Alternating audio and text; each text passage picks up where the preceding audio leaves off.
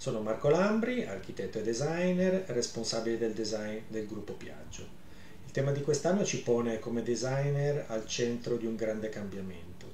D'altronde abbiamo vissuto negli ultimi due anni sulla nostra pelle cosa significhi discontinuità e secondo me dalla discontinuità possiamo trarre grande ispirazione. Per questo noi designer, ma tutto il sistema design, siamo chiamati a contribuire in questo rinnovamento, in questa rigenerazione che è sicuramente fatta di idee, di oggetti, ma soprattutto di relazioni che secondo me sono forse quelle che contraddistinguono davvero il design italiano.